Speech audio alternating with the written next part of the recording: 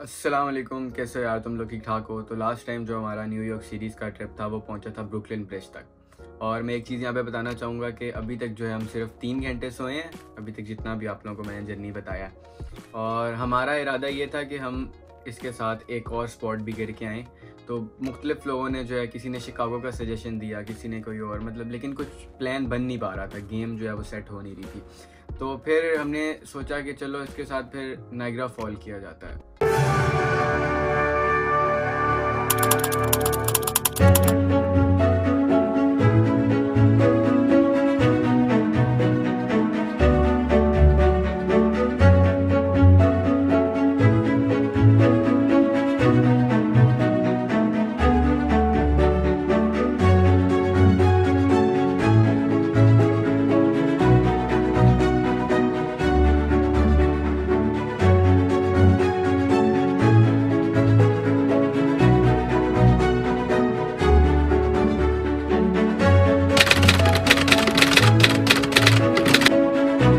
अच्छा यार प्लान बन गया कि अब हम जा रहे हैं नाइग्रा फॉल्स अब सारी गेम आती है डिसीज़न मेकिंग के ऊपर।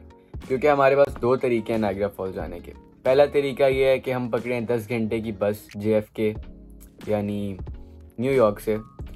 दस घंटे की बस पकड़ें और सीधा पहुँचे नाइग्रा फॉल्स इसका फ़ायदा ये होगा कि होटल के पैसे बच जाएँगे स्टे के, और हम सुबह तकरीबन छः बजे नाइग्रा फॉल्स पहुँचेंगे और तीन चार घंटे एंजॉय करके सब अपनी अपनी फ़्लाइट लेके वापस चले जाएँगे। लेकिन हमारे पास जो दूसरा तरीका था वो ये था कि हम रात जो है वो एयरपोर्ट पे गुजारें और सुबह की वहाँ से दो घंटे की फ़्लाइट पकड़ें और सीधा पहुँचे बफेलो एयरपोर्ट जो नाइग्रा फॉल से तकरीबन आधा घंटा दूर है या घंटा दूर है। तीन घंटे की बाहमी मशावरत के बाद ये डिसाइड हुआ कि हम जो है वो जहाज़ लेंगे और क्योंकि ये रेस्ट का भी टाइम मिल जाएगा हमें एयरपोर्ट के ऊपर और मतलब खाने वगैरह का भी कुछ वहाँ से देखा जा सकता है रादर दिन बस लेने के।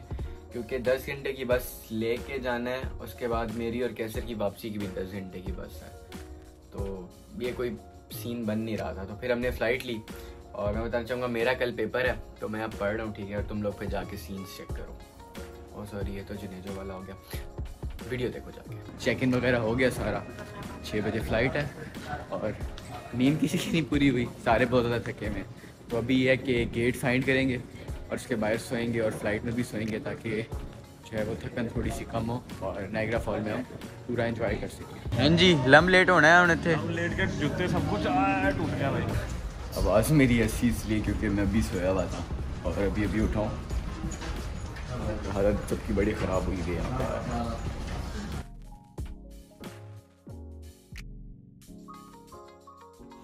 तो यार अगर दिल से पूछो तो दिल कह रहा था कि भाई ये जो बाहर सनसेट है ना ये देख लो भैया ये बहुत इंपॉर्टेंट है। लेकिन दिमाग कह रहा था कि दोस्त तुम सोए नहीं हो तो नींद पूरी कर लो। तो कभी कभी दिमाग की भी मान लेनी चाहिए। नींद आने लगी थी कि एकदम बफेलो आ गया। रेडी स्टडी हो गए हैं सारे बॉयज़ बॉयज़ ठीक है। और अगर मैं नहीं देखी गई तो मैं भाई हमारे एक बंदे का मैसेज आया कि अगर मैं नहीं दिखी तो मुझे भूल जाना। मैं हाँ मैं बाथरूम में हूँ। ये भाई। इसीलिए बैंक जगह नहीं लेके आते इन लोगों को। भाई हमारा नाम ऐसे ही नहीं रोशन। हम मेरा नाम लेकिन रोशन है अच्छे कामों से। अच्छे काम है भाई लिफ्ट करवा ली है। ये जा रही हैं सन्ना एडवानी। एडवानी। ठीक है। पैसे बहुत मार्केटिंग एजेंसी खोल लेनी पैसे बहुत हैं भाईजान पैसों की टेंशन नहीं है। पैसे मींस मनी ये सन्ना यार एयरपोर्ट पे उतरने के बाद अपने ग्रुप के सबसे अमीर बंदे को कहो कि भाई ऊबर करा लें। तो यहाँ से पकड़ो ऊबर और फिर गेम्स ऑन ये भाई बुक करा ली है। गाड़ी। हमजा नोटी होते हुए। देखो यार क्या करूँ इंग्लिश का खूबसूरत मुजाहरा करते हुए। चार्जर मांग रहे अब कैसर परेशान हो गया कि वो बोल क्या रहा है? अब कैसर को समझ नहीं आ रही। इसीलिए कहते हैं अगलों की ज़ुबान में पंगा नहीं लेना चाहिए उनसे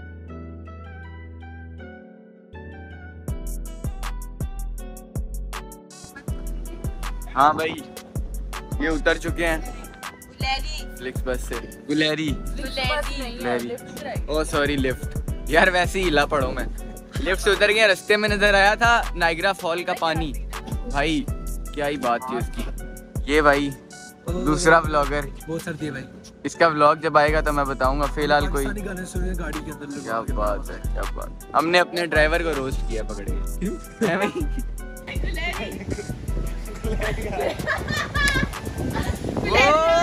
क्या? बात है भाई क्या बात है।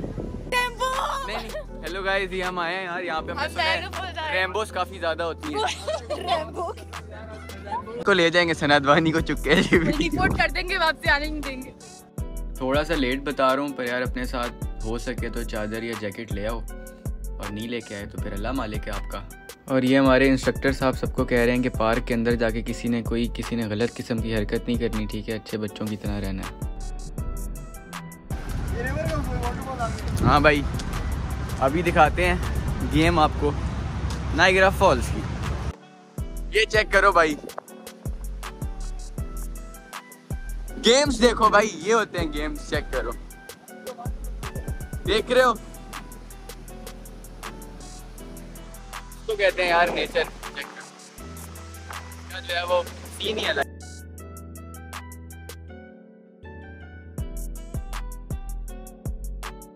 तो यार नाइग्रा फॉल में घूमने के लिए मेरे पास थे दो घंटे और दो घंटे के अंदर तीन चीज़ें मुझे करनी थी।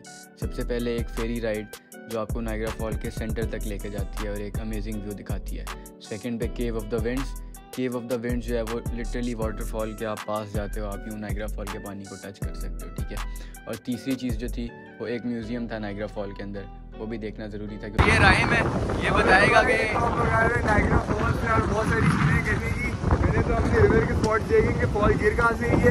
फिर हम आगे जाएँगे मेड ऑफ़ द विस्ट में एक फेरी है जिसमें आपको रेनकोट पहनोगे और हम कितने वाटरफॉल dollars? जाएँगे। Twenty eight point two five dollar only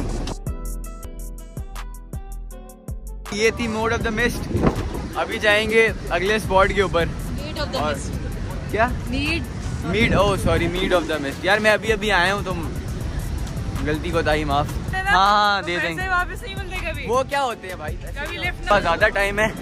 मेरे और कैसर के पास सिर्फ़ दो घंटे हैं। ओए, रुको। मैं आ रहा हूँ, रुको। मेरे और कैसर के पास सिर्फ़ दो घंटे हैं यहाँ पे।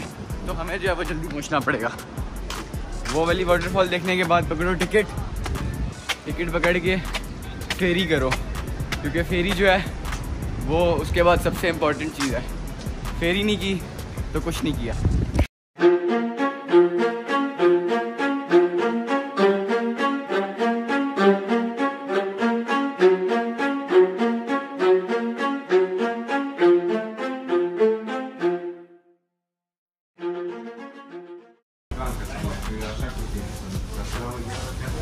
रेन कोट ले लो। वैसे तो अगर चाहो तो नहीं भी ले सकते लेकिन ले लो यार गीले होने में कोई मज़ा नहीं है ऐसी क्यों भाई? देखिए यार इसको देखिए। लड़की को या बोट को? दोनों को देखिए दोनों को अच्छा। दोनों को दोनों को देखो। यार यहाँ पे आते हुए शूट करते हुए ये देख लो कि फ़ोन में पानी वगैरह ना चला दे। भाई तब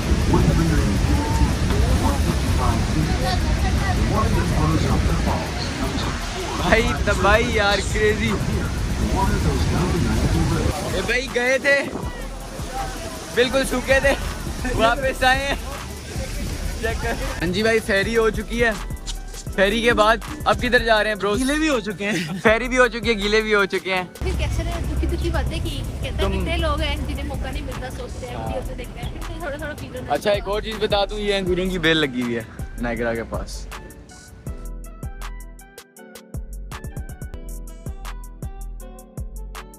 कल वाले आज हम कहाँ आए? Disappointment केव हुई। ऑफ द विंड्स नाम तो सुना होगा dangerous path that I follow. Oh, go on, just do what you do.